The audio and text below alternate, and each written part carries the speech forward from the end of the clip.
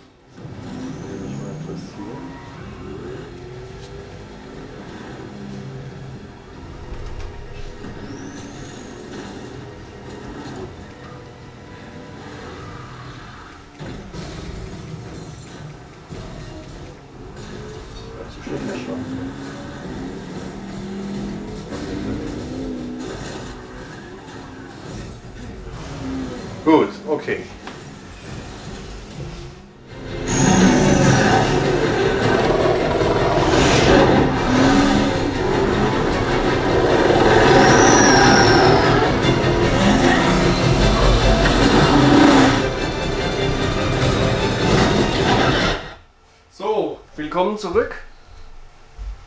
Ich bin's wieder, der Ecki und der Kai und wir fahren jetzt fort. Äh, wir haben den äh, Lago 2.0 jetzt hier aufgebaut und der Ecki führt euch jetzt so ein bisschen durch das Menü.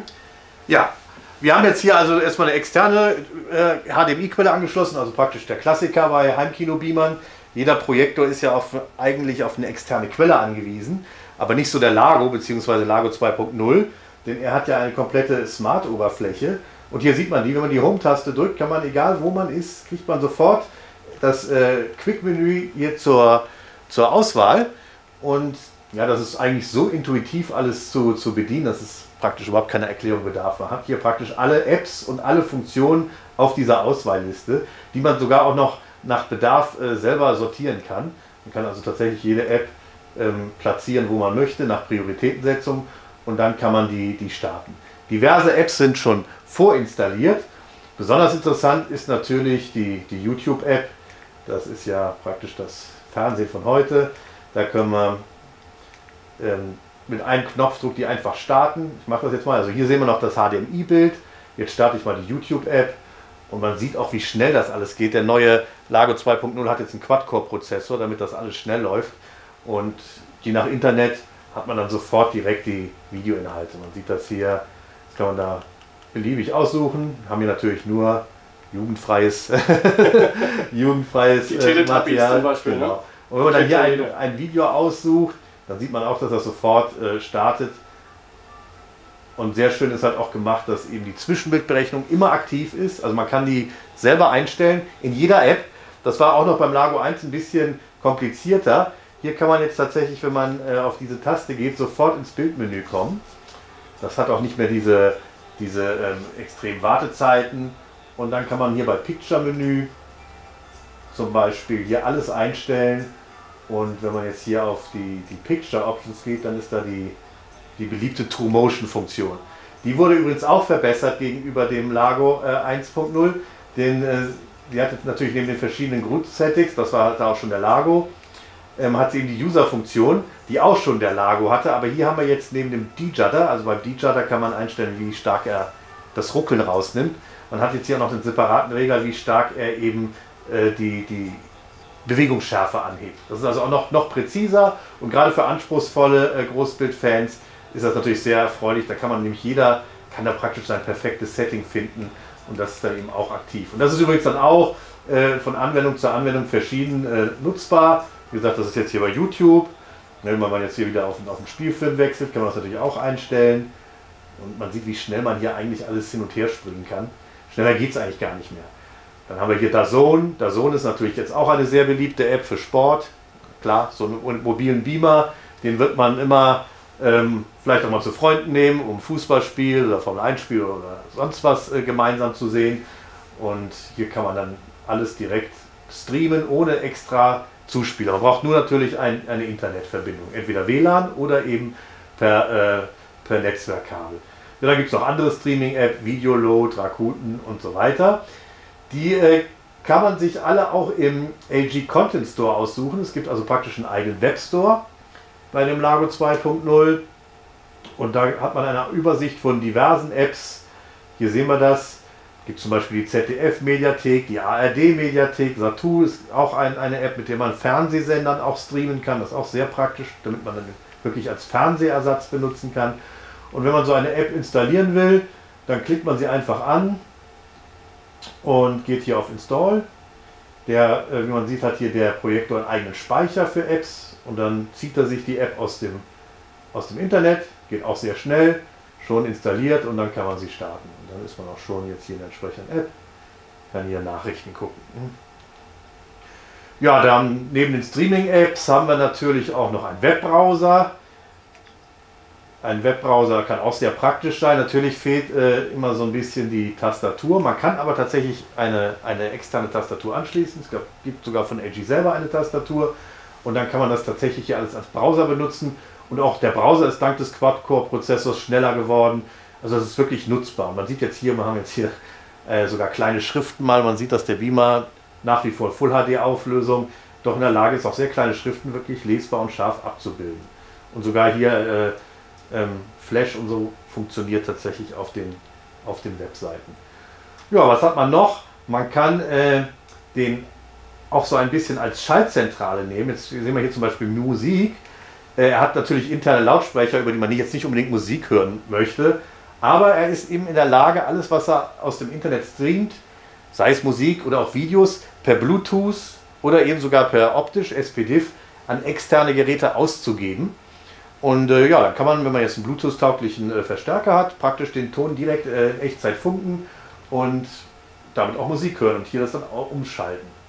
Das gleiche für Videos äh, und Fotos. Es gibt hier einen eigenen Foto-Viewer, äh, der sucht sich praktisch alle, alle Fotos, die man im, im, die im, im Netzwerk findet, ähm, und die natürlich äh, freigegeben sind und man kann die dann anzeigen und ähm, ja, das ist auch sehr praktisch für, für die Man kann ja im Prinzip auch, äh, äh, sagen wir mal, über eine ähm, Festplatte, äh, USB-Festplatte das geht auch. Äh, streamen. Man kann natürlich von der USB, man kann über Festplatte, man kann auch Videodateien. Ja, ja.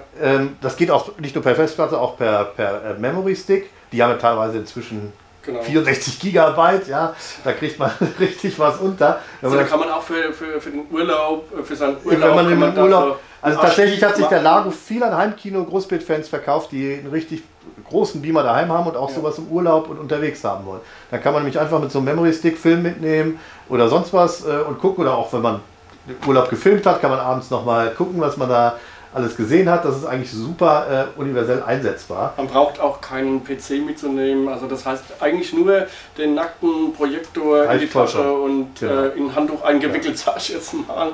Und äh, das wäre eigentlich dann genau. schon ausreichend. Mehr brauche ich Es gibt hier auch diese Screenshare-Funktion. Da kann man ihn tatsächlich dann mit einem Tablet oder einem Handy koppeln. Und dann hat man praktisch nochmal eine große Kopie von dem, was man auf dem Handy sieht. Ist auch super, wenn man äh, rumsurft dann ist es noch etwas bequemer. Das ist äh, dieses Miracast, ne? Genau, das ist Miracast bei Android. Ähm, bei Apple geht es aber, glaube ich, auch irgendwie übers Netzwerk. Genau, ja, da. Und ähm, ja, da kann man eben auch nochmal äh, praktisch in groß gleichzeitig gucken, was auf dem Handy hat. Das ist auch super. Das ist vielleicht auch eine Alternative zum internen Browser, aber das eben noch besser bedienen kann. Ja, es gibt eigentlich keine Funktionen, die man mit diesem Gerät nicht machen kann. Und dank des neuen Betriebssystems und des neuen Prozessors ähm, ist das eben hier auch alles sehr rasend flüssig. Sehr flüssig und rasend schnell. Ja, und sowas von selbsterklärend nicht. Also es ist, man, man kann da eigentlich gar nichts falsch machen. Und das ist definitiv eine große Verbesserung gegenüber dem, gegenüber dem alten Modell. Da war das alles noch sehr, sehr rudimentär. Ja, wir sollten das aber doch nochmal auflösen, dass äh, dieses äh, goldene Objektiv, äh, was das jetzt doch bringt. Nämlich nichts. ja, das stimmt. Das stimmt. Es bringt außer äh, einer goldenen Farbe nichts. Ist auch Geschmackssache, wer Gold lieber mag oder Silber.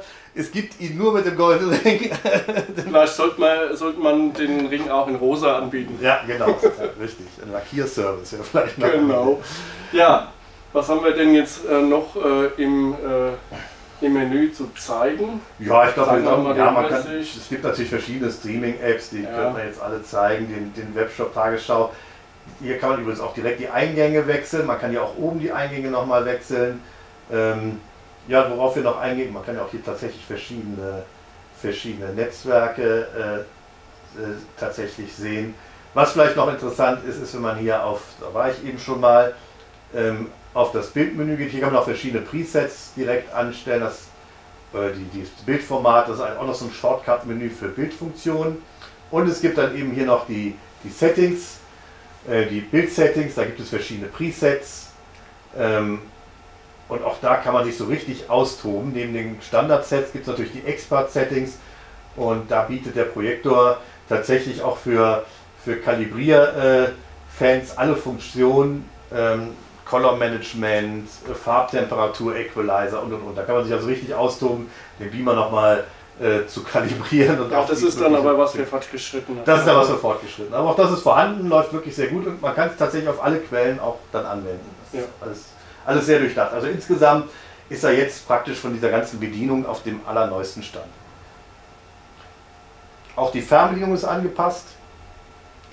So ja, also die Fernbedienung, die ist ja wesentlich größer geworden. Ich zeige das dann auch nochmal im Bild. Ja. Gegenüber der alten Fernbedienung haben wir jetzt wesentlich mehr äh, Tasten. Wir haben eine 10er-Tastatur, wir haben eine Suchtaste und so weiter. Das ist eben auch äh, dem neuen Betriebssystem geschuldet. Das ist leistungsfähiger und so kann man eben das besser interaktiv bedienen, als das ähm, bei der alten Fernbedienung noch der, der Fall war. Die vielleicht ein bisschen designtechnisch schöner war. ja. Was man jetzt hier im Bild nicht sieht, wir haben den äh, Lago 2.0 äh, der hat ja ein, ein Kamera- äh, bzw. ein Stativgewinde. Äh, und äh, wir haben das Ganze, um das jetzt noch ein bisschen schöner auszurichten, auf ein Stativ gestellt, auf so ein Mini-Stativ. Und das kann man dann im Prinzip auch, wenn man jetzt unterwegs ist, sollte man sowas mitnehmen und ja, das ist dann immer von Vorteil und an dieser Stelle sei auch nochmal erwähnt, dass er eben in der Installation besonders einfach ist, denn er hat so eine eingebaute Wasserwaage und wenn man ihn so ein bisschen schief stellt, zum Beispiel um irgendwelche Möbel hinweg zu projizieren, dann dauert das nur ein, zwei Sekunden und er passt das Trapez an. Ich glaube, man sieht das hier sehr gut. Ich stelle das jetzt nochmal tief und zack. Zack. Ganz schnell ist das angepasst, also einfacher geht es eigentlich nicht mehr. Hinstellen, irgendwie ausrichten, dass man ein Bild hat. Jede weiße Wand tut es eigentlich. Schärfe einstellen, Zoom. Der Zoom-Bereich ist natürlich nicht der allergrößte 1,1-fachen äh, Zoom und die Schärfe einstellen und fertig ist man. Schneller geht es wirklich kaum. Hm. Ja, also das ist doch schon sehr vorteilhaft und anständig.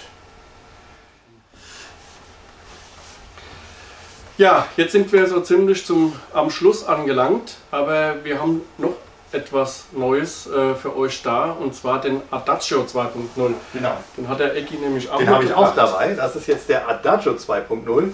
Das ist die Kurzdistanzvariante vom Lago 2.0. Das heißt, der schafft es aus 10, 20 cm Abstand ein genauso großes Bild zu erzeugen. Man kann ihn dann also auf ein Sideboard stellen äh, und ihn praktisch als Fernsehersatz nehmen, weil er aus allernächster Nähe eben ein Riesenbild macht.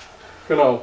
Und äh, das ist im Prinzip eigentlich äh, immer mehr am Kommen, ne? ja. weil man sowas oder man kann diese Version äh, sehr schön auf das Sideboard stellen. Äh, genau, also das ist tatsächlich im Kommen. Ja. Denn es ist eine sehr kosteneffektive äh, Möglichkeit, ein sehr großes Bild zu erzeugen. Wenn man schon mal nach Preisen geguckt hat von 100 Zoll Fernsehern und mehr, äh, der wird sehen, dass das auf, bis auf die 70, 80, 100.000 Euro und hier gibt es praktisch für, für einen Bruchteil, ähm, gibt, kann man eben ähnliche Bildgrößen erzeugen. Das ist über so ein Parabolspiegel gelöst und ja, äußerlich, es gab ja auch den Adagio 1.0, das ist der 2.0, er ist jetzt komplett weiß. Der Vorgänger war noch so Anthrazitfarben, er hat sich also äußerlich ein bisschen mehr getan, dafür hat er keinen goldenen Ring. Das ist Silber geblieben. Oben ist doch nicht Gold. Ja. Nee, nee, ist Gut, Also das heißt aber, wir müssen trotzdem äh, in der Bildqualität keine Abstriche machen. Ja. Äh, das ist genauso gut. Das ist eigentlich genauso gut, deshalb brauchen wir nicht nochmal extra. Es ist praktisch identisch zum, zum, zum Lago, nur eben als Kurzdistanz. Wir müssen nochmal vielleicht zu dem äh, Vorgänger äh, nochmal erwähnen, dass der jetzt ja, der Vorgänger war schwarz, jetzt haben wir genau. praktisch weiß. Richtig, das. Äh, äh in einem Lifestyle-Finish und äh, dann muss man noch dazu sagen, dass wir jetzt auch äh, eine Zwischenbildberechnung haben. Ja, also die LED-Projektoren hatten tatsächlich alle schon eine Zwischenberechnung vorher. Auch er hat die verbesserte Zwischenbildberechnung. Äh, die Laserprojektoren, die haben jetzt auch alle eine Zwischenbildberechnung und die werden wir übrigens auch bei dem Event alle mit äh, dabei haben. Also wir haben auf dem Event gleich vier neue Modelle. Den Lago 2.0, den Adagio 2.0, den Adante 2.0 und den Presto. Und den äh, Presto natürlich auch. Aber richtig. natürlich äh, nicht 2.0. Stimmt, die haben wir natürlich auch noch da. Und ähm, ja, wie gesagt, einen großen Workshop machen wir zu äh, Projektionstechniken, zu den verschiedenen Lichtquellen, zu den Farben, äh, die diese Projektion erzeugen können. Und ähm, das wird, glaube ich, eine richtig schöne Sache. Wer dann ähm, kurz entschlossen ist, kann auch zu Sonderpreisen diese Geräte bekommen. Für Essen ist auch gesorgt. Genau, und wir haben, glaube ich, auch noch eine Überraschung äh, dabei für Kurzentschlossene, die also dann äh, so einen LG äh, gleich mitnehmen wollen. Ja. Aber das äh, findet ihr dann alles online. Genau, für das Event, wer sich äh, dafür interessiert, kann sich anmelden bei euch auf der Webseite. Und äh, ja, dann hoffe ich, dass wir uns dann da auch wiedersehen. Live mit allen Geräten können wir ganzen Tag schön rumspielen. Also können wir jetzt schon mal sagen, also für den äh, Lago 2.0 äh, von meiner Seite her auf jeden Fall Daumen hoch. Und äh, ja, hier, das könnt ihr dann, könnt ihr euch ja persönlich davon überzeugen, dann hier bei uns, wenn dieser Event stattfindet. Gut, also dann äh, ja, verabschieden wir uns. Da ne? sehen wir uns hoffentlich in ziemlich genau drei, vier Wochen. Genau.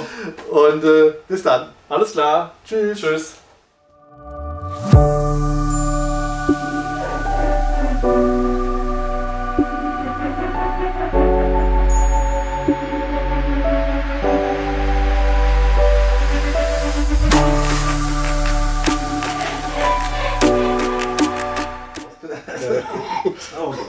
Das war mir unbeliebt.